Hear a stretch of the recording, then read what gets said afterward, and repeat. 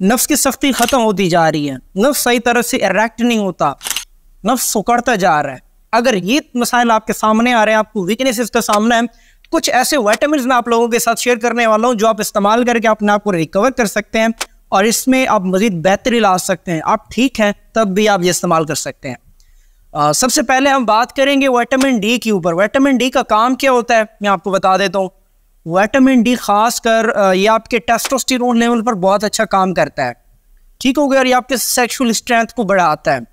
और ये हासिल किन किन चीज़ों से होता है, वो भी मैं आपको बता देता हूँ। नंबर वन ये अंडे से आप हासिल कर सकते हैं। नंबर टू सूरज की रोशनी। अब, आप ऐसा ना करें कि दिन के दस बारह बजे आप बिस्तर बिछा कर धूप पर ही सोएँ। ऐसा नहीं करना। सुबह सवेरे की जो रोशनी होती है और असर के बाद की जो रोशनी होती है, धूप होती है, वो बहुत अच्छा काम करती है। आपकी स्किन पर भी आपकी बॉडी पर भी आपको वाइटामिन डी फ्राहम कर दिया थर्ड पर अगर मैं बात करूँ तो मछली फैटी मछली खास कर ये बहुत अच्छा काम करती है। वाइटामिन ई e, अगर हम नेक्स्ट वाइटामिन की बात करें तो वाइटामिन ई e, ये एंटीऑक्सीडेंट के तौर पर काम करता है। आपकी जो ब्लड की सर्कुलेशन है इसको ये इंप्रूव करता है? अच्छा आपकी जब ब्लड की सर्कुलेशन इंप्रूव होती है तो आपकी जो सेक्शुअलिस्ट परफॉर्मेंस होती है वो बहुत बेहतर हो जाती है। अगर कोई मसला आया खड़ा होता है तो वो बिल्कुल ही क्लियर हो जाता है।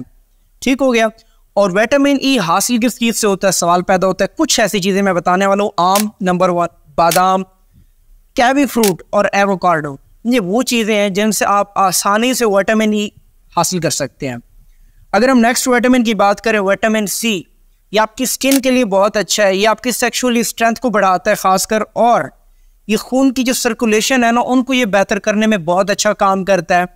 और इसके अलावा ये आपकी उज्व तनासल की जो सख्ती है ना, उसको ये बढ़ा देता है। इसके सोर्सेज नंबर वन मिर्च, सब्ज हो, चाय सुरख हो, लेकिन वो बिल्कुल आटे की फॉर्म में ना हो। ये बहुत अच्छा काम करती है विटामिन सी के लिए। आप ज़्यादा इस्तेमाल ना करें नॉर्मल करें, नहीं तो आपके मैदे को भी ये नुकसान पहुँचा सकती है। आलू, माल्टे, गाजर और उसके अलावा बेरीज जो मुख्तलिफ़ ब्लू बेरीज मतलब जिस किस्म के भी बेरीज वगैरह वो खाते हैं तो विटामिन सी का बहुत अच्छा सोर्स मतलब तलाश कर सकते हैं। उसके अलावा, अगर हम बात करें विटामिन बी की विटामिन बी ये बहुत अच्छा काम करता है। ये आपके तनाव की जो पैदावार है, उसको कम करता है। आपको तनाव को कम करता है और आपके हारमोन्स को बैलेंस रखने में मदद करता है। जी हाँ। और इसके जो सोर्सेज हैं, केला, बहुत अच्छा सोर्स है। मछली, दूध और अंडे। और इसके अलावा अगर हम बात करें फलियों की तो इनसे आप विटामिन बी बिल्कुल हासिल कर सकते हैं। नेक्स्ट वाइटामिन अच्छा अगली जिस पर हम बात करने वाले हैं वो जिंक है। वो वाइटामिन नहीं है। लेकिन ये बहुत अच्छा काम करता है आपके सेक्सुअल स्ट्रेंथ को बढ़ाने के लिए।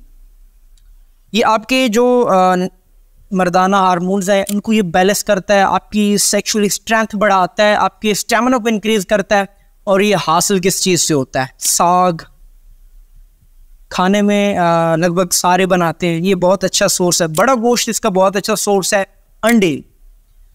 अंडे आप सुबह सवेरे भी इस्तेमाल कर सकते हैं, दोपहर को भी इस्तेमाल कर सकते हैं। मूंगफली और मछली का गोश्त बहुत अच्छा सोर्स है जिंक का, और ये आपको सेक्सुअली बिल्कुल ए वन कर सकते हैं। ठीक हो गया। अगले हम अगर बात करें तो ओमेगा थ्री फैटी एसिड्स ये आपकी सेक्सुअल परफॉर्मेंस को बेहतर बनाने के लिए काफ़ी है। जी हाँ ये आपके ब्लड की सर्कुलेशन को इम्प्रूव करती है, आपकी बॉडी में आपके नफ्स में जो ब्लड की सर्कुलेशन है, उसको ये इम्प्रूव कर दिए, जिससे erection erectile dysfunction premature ejaculation जैसे मसले क्लियर होना शुरू हो जाते हैं। और ये हासिल होती है जनाब मछली, बादाम, अंडे, अखरोट, साग और बेरीज और गोभी। जी हाँ ये सब्जियों में गोभी में बहुत ज़्यादा होती है। आप ये इस्तेमाल कर सकते हैं। ये तो हो गए वाइटामिन लेकिन इसके साथ अगर आप डाइट फॉलो नहीं कर रहे हैं तो आपकी रिकवरी तब भी मुमकिन नहीं है। परहेज़ आप करें। डाइट फॉलो करें, क्योंकि आधा इलाज परहेज़ होता है। उम्मीद करता हूँ वीडियो आपको पसंद आई होगी, और अगर आप कोई प्रॉब्लम का सामना हो, कोई इस तरह की मालूम इन्फॉर्मेशन चाहिए तो आप मुझे कमेंट सेक्शन में बता सकते हैं। इंशाल्लाह सुबह पूरी वीडियो भी बनाऊँगा। मिलते हैं नेक्स्ट वीडियो में, तब तक के लिए अल्लाह हाफ़